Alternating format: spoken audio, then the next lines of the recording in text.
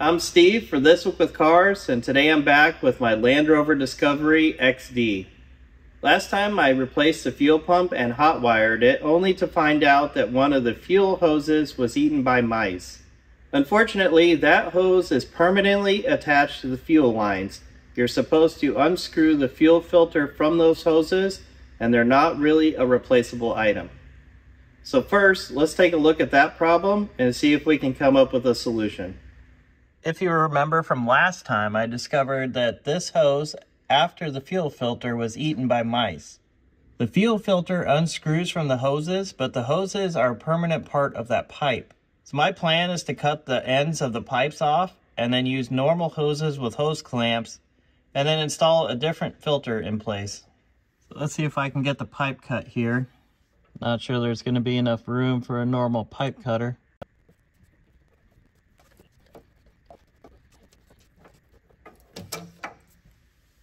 Okay, it worked. The hose on the other side was not eaten, but as you can see, there is a little chew marks on it. So I'm going to cut this end as well.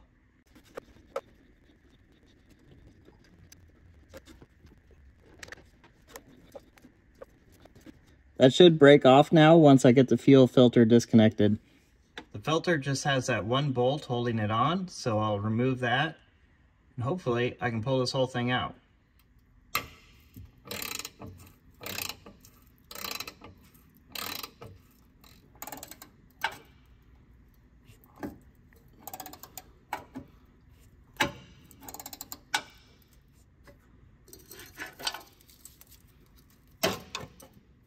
Now we can get a good look at that old hose. There's pretty much nothing left of it. So here's my plan. I have some fuel injection hose, some fuel injection clamps, and I got a metal fuel filter. So I'll put that in place, make a couple hoses on each side. I'll probably double up the clamps on the pipe end just to be careful. Here's my new filter setup. I'll cut the hoses once I get it installed and then I'll move the hose clamps over and I'll figure out a way to mount it. And at least this will hold it out of the way if nothing else. Everything's installed. Let's try it out. Before I try to start it, I am tired of dealing with this battery. This is ruined. I have to charge it every time. Had to try to start it with a jump pack. So I'm going to take this out and put a new one in.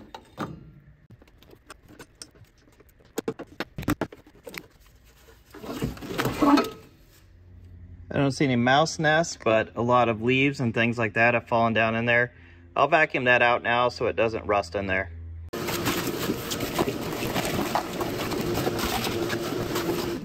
It did end up exposing some rust holes down in there. In general, I'd say the battery tray is in pretty good shape though. It could be a lot worse than this.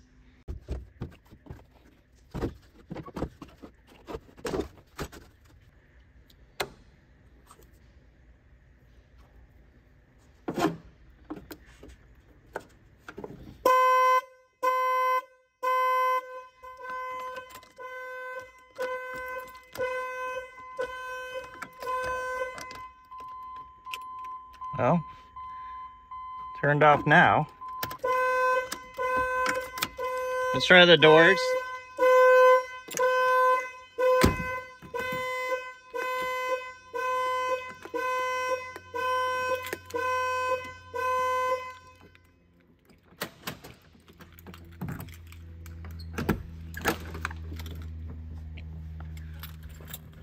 Okay, now the security is disabled. Last time I used this alligator clip with a pin on it to press into the wire to power up the fuel pump. Today, I'm going to use this. I'm going to make myself a little wire that comes off of it that I can attach my power to to turn the fuel pump on and off. Now, I see these used on cars all the time, and these are a temporary thing. Don't be wiring your car up with these for something that's permanent I'm going to put this on here, but this is only for a temporary thing until I can diagnose fixing the rest of the car. And how this works is it lets you stick a wire in this end, and then this end is open, so you can slip that over the other wire. And then once it's over the other wire, you can push this blade down and it goes on both sides of the conductor and connects the two wires together without you having to really damage any of the insulation. And then with a good wire in order to access the power for the fuel pump, I'm going to use the control box that I built this winter and I'll hook it up to this ignition switch that's protected so that I don't accidentally turn on the fuel pump when I don't want to. That way I can have good control over the fuel pump and possibly even just bring this up to the driver's seat with me.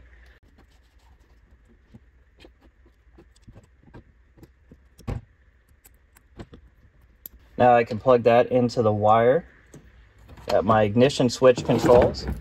And I connect this connector to a battery source. For this quick test, the battery source will be a jump pack.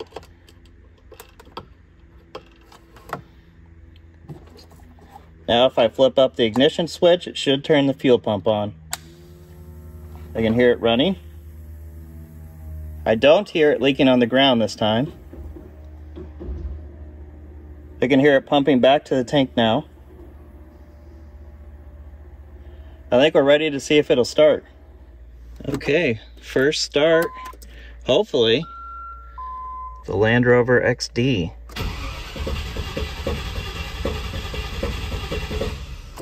Okay, I didn't stop cranking it there. It stopped on its own. Looks like the starter has stopped working again. Probably have to hit it with a hammer. Let's try the hammer trick on the starter and the solenoid again. Let's try it again. Okay, the starter's not... There it goes.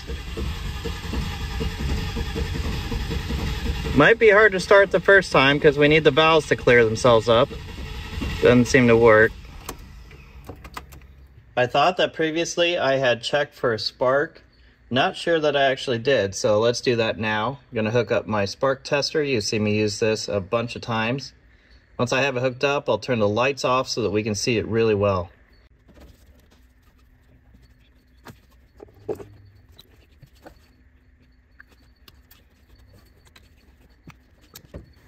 Now if there is any spark, we'll see it flashing right here.